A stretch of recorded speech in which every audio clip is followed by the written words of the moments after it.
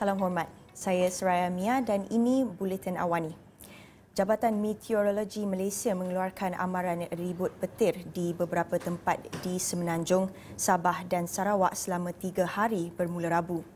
Met Malaysia menerusi kenyataannya memaklumkan malam ini ribut petir dijangka melanda Perlis, Kedah, Pulau Pinang, Pahang, Kelantan, Terengganu dan beberapa kawasan di Sabah dan Sarawak. Ribut petir turut diramalkan berlaku pada Kamis di Pulau Pinang dan Sri Aman dan Sarike di Sarawak. Selain hujan di Perak, Selangor, Putrajaya, Negeri Sembilan, Melaka, Johor dan beberapa kawasan di Sarawak.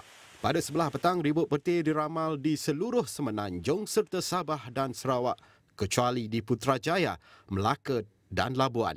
Manakala waktu malam ribut petir dijangka berlaku di Pahang, Labuan dan beberapa kawasan di pendalaman Sabah.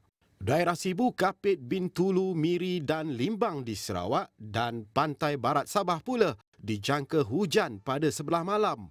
Pada pagi Jumaat, ribut petir dijangka berlaku di Pulau Pinang dan Sabah. Selain hujan di Melaka, Johor serta Labuan. Pada petang Jumaat, ribut petir diramal di seluruh negara kecuali Melaka, beberapa kawasan di Sarawak dan Labuan. Manakala waktu malam, ribut petir dijangka berlaku di Pahang, Kelantan, Terengganu, Sabah dan Labuan.